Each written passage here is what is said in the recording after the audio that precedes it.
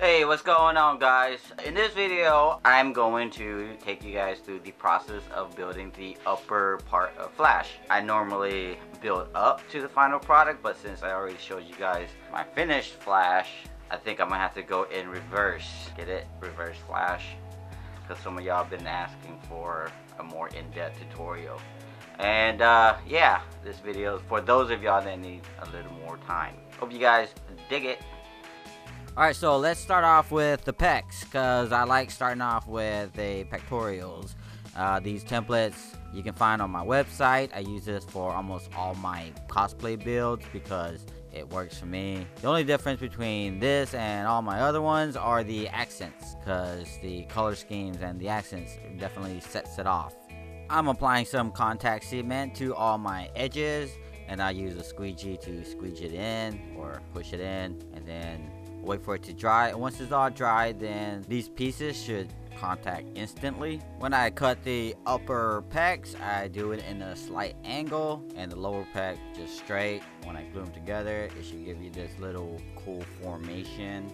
Then I trim the center so that they would meet perfectly and then I'll apply some glue and then attach them together just like that now that the pecs are done, let's move along to the abdominal area. I'm using a template that I use to cut my fabric and then I'm going to draw everything on to some poster board paper.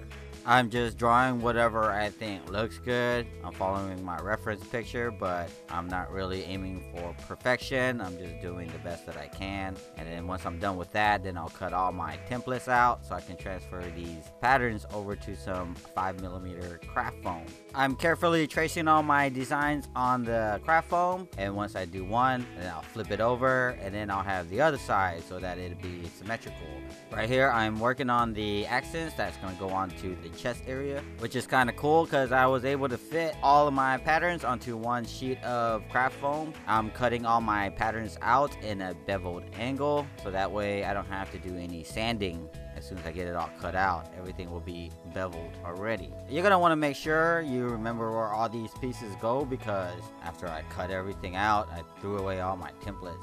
I'm applying some heat to the chest piece accents so that it'll curve around the chest area nice and better and I'm gonna draw out my lines this is where I'm gonna put my glue down and you also want to make sure everything is in the right spot before you glue it down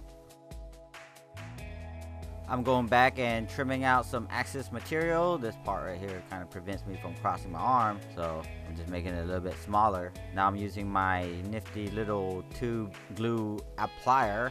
I don't know what you call that, but yeah, seems legit to me. And then I'm gonna use my squeegee and then spread everything around. When you use a squeegee or scrap foam, the glue seems to dry a lot quicker.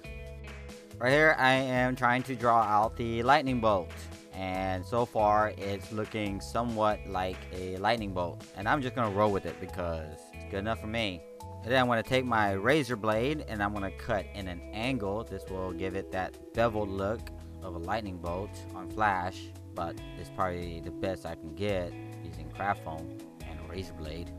I used a bottom of can to determine the perfect radius of this circle. You can probably use anything that's round. That's all entirely up to you. I'm applying some contact cement and I'm going to use my circle disc and smear it all around just like that. Want to make sure everything is nice and on there because when you're traveling at light speed you don't want nothing falling apart and you're going to have to stop in the middle of speed force to pick up your broken pieces which would be quite embarrassing. And once I got everything glued on I realized I got the lightning bolt on backwards but that's okay because it's just cosplay. Well actually it's meant to be backwards because it's the reverse flash in case you ain't figured that part out yet. I'm working on the ribdominal area. Yeah, that's the word now, and I'm sticking with it.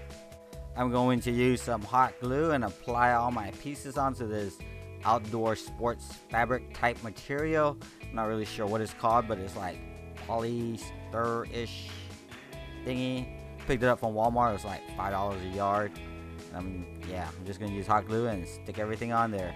Hot glue is probably the best bet for this application unless you actually plan on traveling at, at the speed of light then uh, you might need to find something stronger.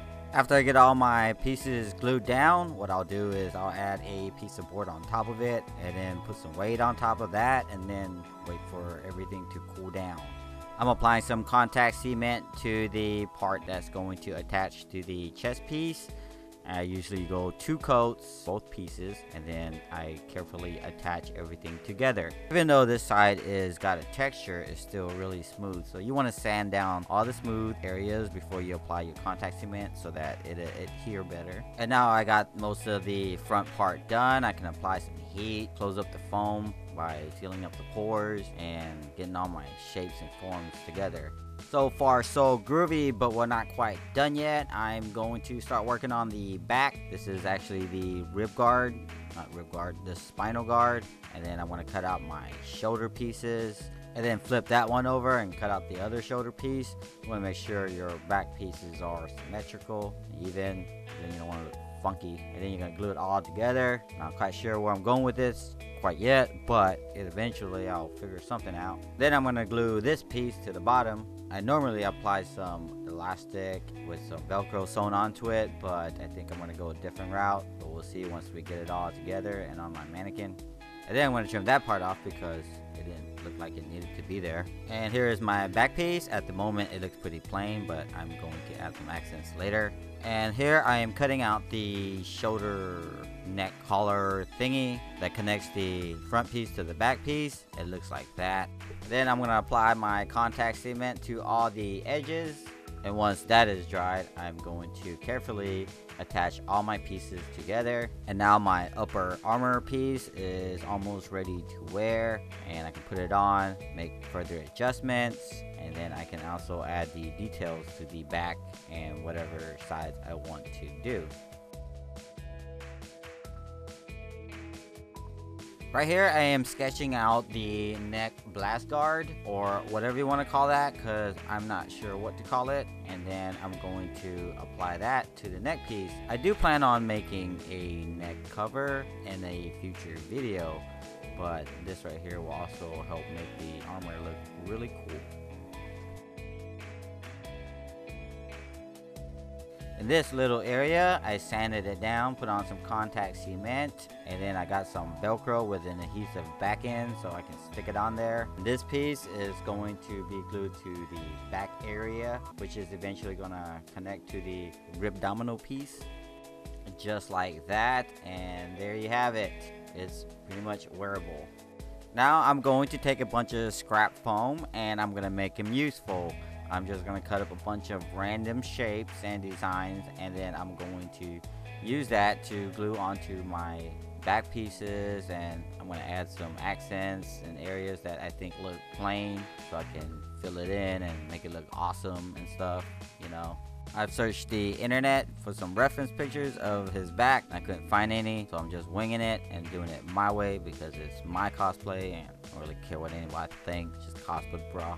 And now I am working on the cod piece because you want to protect your family jewels. Because you don't want to be traveling in the Speed Force and you got debris flying at you. But then again, is there any debris in the Speed Force? Can somebody tell me? I want the honest truth. And don't be making stuff up, please. So this concludes the upper body build.